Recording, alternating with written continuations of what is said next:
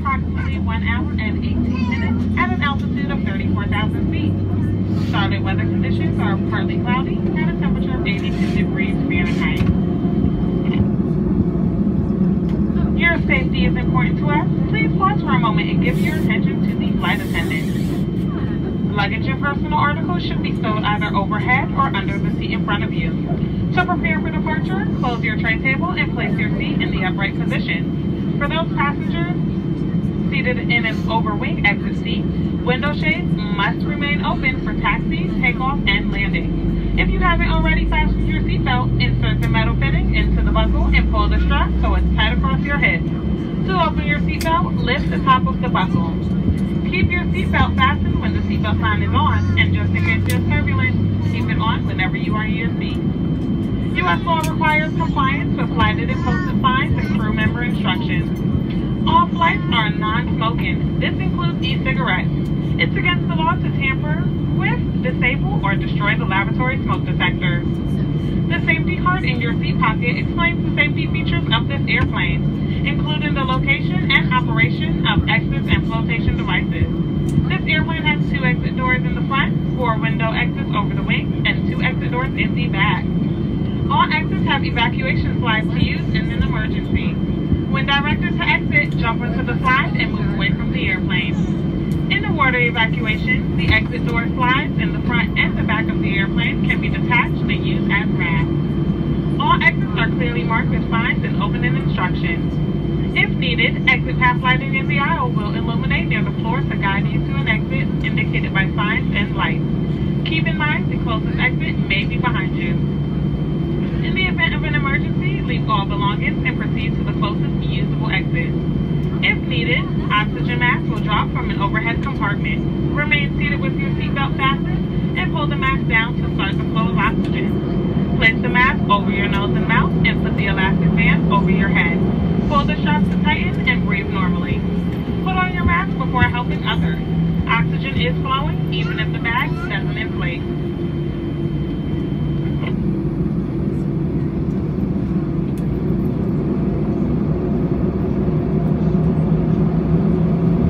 Your life vest is in a compartment under or next to your seat. Pull the strap to remove the life vest pouch.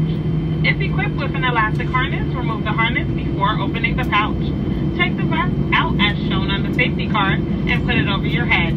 Wrap the strap around your waist, attach the buckle, and tighten. Inflate your vest as you leave the airplane by pulling down on the red tab or by blowing into the red tube.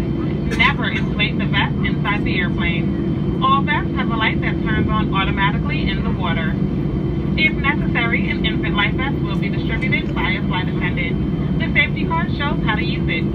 We will be dimming the cabin lights for takeoff. Individual reading lights controls are overhead. Thank you so much for your attention and enjoy your flight.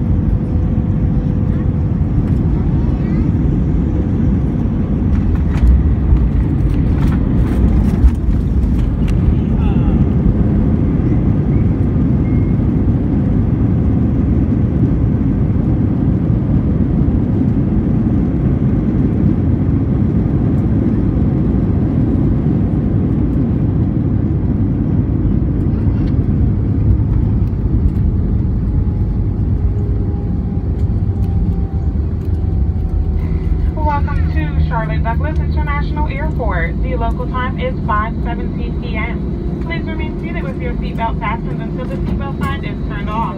And keep the aisle clear while carrying on items. Take a moment to check your seatback pocket for any personal items like tablets and cell phones. When you open the overhead compartment, please be careful as items may have shifted in flight. You may now use your cell phone.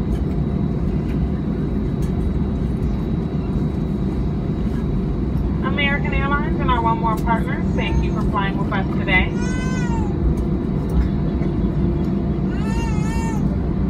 If you have a connecting flight here in Charlotte, please be sure to check the monitors in the terminal for any gate changes, last minute gate changes. And if Charlotte is your final destination, welcome back. We will be arriving at gate B8, that's Bravo 8 and baggage claim will be the letter B as Bravo.